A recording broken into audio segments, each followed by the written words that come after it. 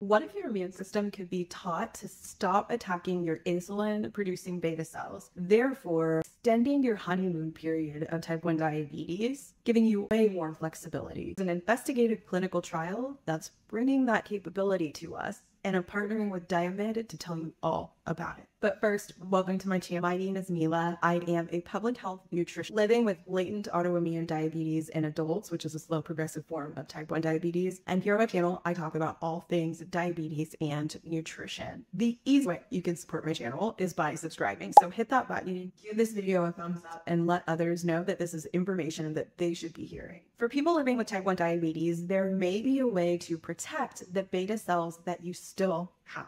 When someone is diagnosed with type 1 diabetes, the body has already started the process of attacking those little beta cells that are responsible for producing insulin, which is the key that unlocks your cells in your body so that the insulin can get in and the sugar can get. Those insulin producing beta cells also make something called GAD65. It's an enzyme that your body naturally produces. Medical is studying an investigational therapy that gives GAD65 back, almost telling the immune system, hey, I'm new here and I'm not the enemy with a little bit of a reintroduction of your beta cells to your immune system. The goal is to slow down or even stop the attack that's happening between your immune system and those insulin producing beta cells. That allows your insulin producing beta cells to keep working, which means guess what? They're not being destroyed, they're not being attacked, and they're able to efficiently help your body produce insulin the way everyone else's bodies produce insulin. It matters because protecting those cells can extend the honeymoon period.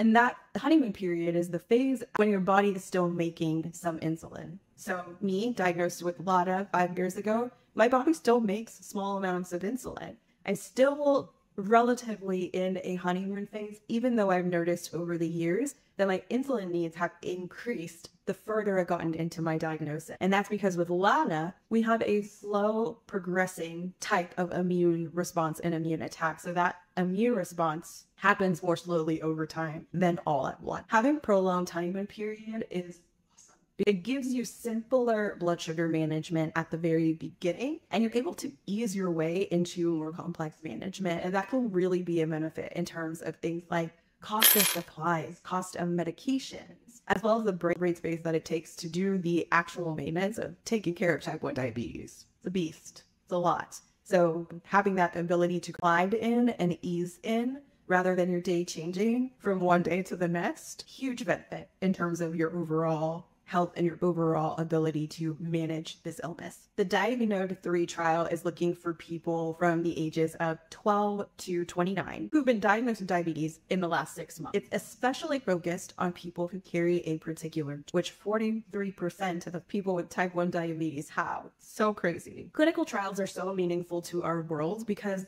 it helps us understand more about how the body responds to treatments and how that can affect us over time. And I think many of us with diabetes have a very special connection. I think that's what so happens that when you participate in clinical trials, you are giving the gift to somebody of potentially finding a therapy or a cure, a new innovation that will help people live better lives. Diagnode 3 is enrolling now in the United States and a few European countries. If you think you might qualify or you think somebody you qualify, visit diagnode-3.com or email clinicaltrials at diamyd.com. This is a paid partnership, and I want to be clear, this therapy is investigational. It's still being studied to see if it's safe and effective, and the Diagnode 3 trial is here to answer those questions. I will leave a link in the description so that you can get the contact information for this clinical trial if you're interested or you know someone who might be. And tell me what you think in the comment section. Do you feel like a therapy like this could change the game? Do you feel like you would ever participate in a clinical trial?